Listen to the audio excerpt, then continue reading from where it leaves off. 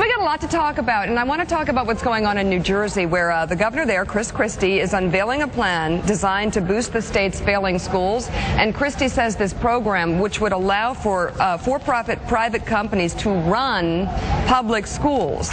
In New Jersey, the governor's office says 100,000 kids are trapped in nearly 200 chronically failing schools.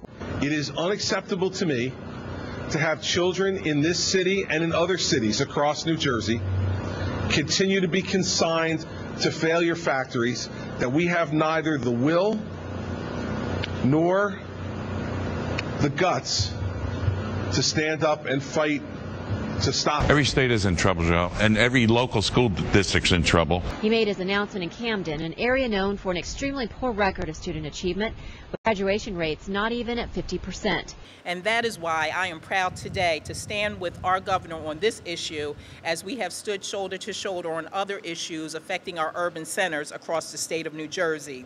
It is about getting the job done. It is about the public-private partnership that this pilot program can do to transform schools, and it should and can and it must go forward. It has to go forward because it is about the children at the end of the day.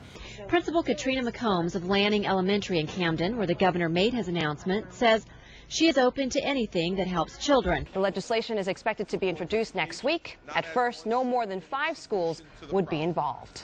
Now, he says that several other states have also tried this, so it's time to give it a chance in the Garden State.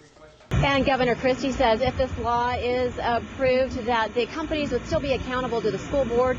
They'll get five years to show what they can do. The state will come in and analyze how things are going to see if it's working out.